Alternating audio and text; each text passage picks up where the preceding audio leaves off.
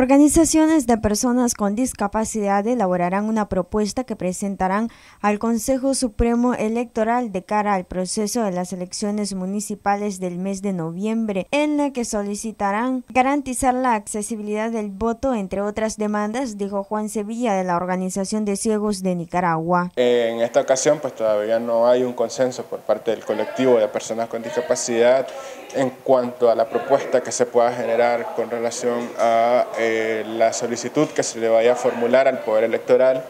aunque también hay personas que no hacen uso de eh, las normas de accesibilidad que se, puedan incorporar, porque también hay que ser conscientes que esto depende de las realidades económicas por las cuales el país esté pasando y de eso va a depender el que se incorporen o no X o Y medidas. Entonces, este, también la, ley electoral, tanto la ley electoral inicial como las reformas que han habido, garantizan también que la persona con discapacidad pueda hacer uso de eh, su derecho a través del voto asistido, que es pues también una decisión por la cual se, se decantan la mayoría de las personas con discapacidad también es importante destacar que no todas las personas con discapacidad requieren las medidas de apoyo para, para hacer el voto accesible. Hay personas con discapacidad que no lo necesitan, en el caso pues, de las personas con discapacidad visual sí necesitan ah, en su mayoría, porque también recordemos que las discapacidades tienen diferentes grados. Hay personas de baja visión que todavía alcanzan a leer, que son consideradas personas con discapacidad visual porque cumplen con las normas que establece la Organización Mundial de la Salud para ser considerada una persona con discapacidad, pero este, logran leer y que quizás no necesiten eh, este,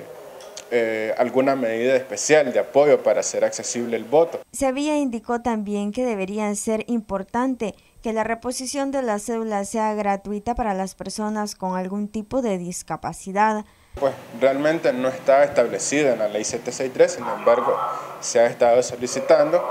eh, aunque pues para fines eh, electorales la Asamblea Nacional ha venido prorrogando el uso de las cédulas de identidad que tengan expirada su vigencia y de esa manera pues se ha logrado solventar buena parte de la problemática. Eso está actualmente habilitado para las personas adultas mayores, que muchas de ellas son personas con discapacidad, jubilados y demás. Entonces, este, para ellos está esa posibilidad, pero para el resto de personas con discapacidad está simplemente en la primera vez que, que la persona recibe su documento de identidad, no así en el caso de que la pierdan. Ya eso es responsabilidad del ciudadano y en su momento el Poder Electoral tomará las decisiones pertinentes con relación a si se aprueba o no, o si se, si se aprueba o no la solicitud, si se aprueba de manera total, si se aprueba de manera parcial. Podría ser, una buena opción para las personas con discapacidad, este, principalmente para las personas con discapacidad que están desempleadas y que no perciben ingresos económicos, que, que, que pues, suponemos que no puedan acceder a ese pago. Entonces, eso, eso se va a determinar en su momento por parte del Poder Electoral y este, siempre tomando en cuenta la participación del movimiento asociativo de personas con discapacidad en nuestro país. Noticias 12, Darlene Telles.